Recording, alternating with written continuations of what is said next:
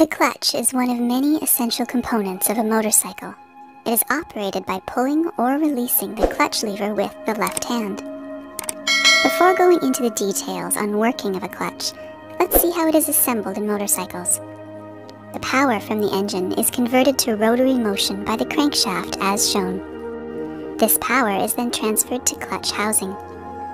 The clutch assembly transfers power to the input shaft of the gearbox. The power is then transferred to the output shaft and eventually to the rear wheel of the motorcycle. The clutch assembly itself is a combination of several parts.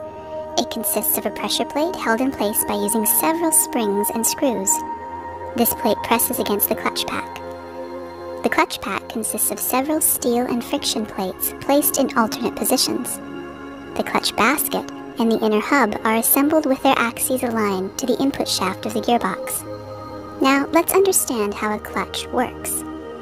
The clutch basket freewheels with respect to the gearbox. The engine power will spin the clutch basket, but it will not transfer any power to the gearbox.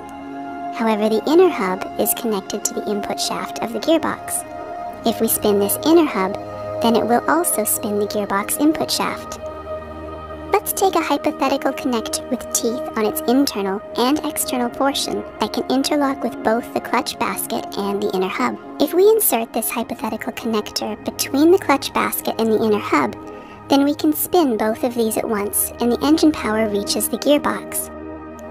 And if we remove this hypothetical connector, the clutch basket and inner hub will be independent again and the engine power is disconnected. But there is a problem in using this connector. When the connector is removed, the inner hub spins due to inertia of the motorcycle rear wheel, and the outer basket spins due to engine power. This is why these two components start spinning at different speeds. In order to interlock with both of these non-synchronized spinning components, the hypothetical connector will have to spin at two different speeds at the same time, which is impossible. For example, if it matches the inner hub speed, then interlocking this connector with the outer basket will be either impossible or too difficult. To eliminate this problem, the clutch pack is used in place of this hypothetical connector.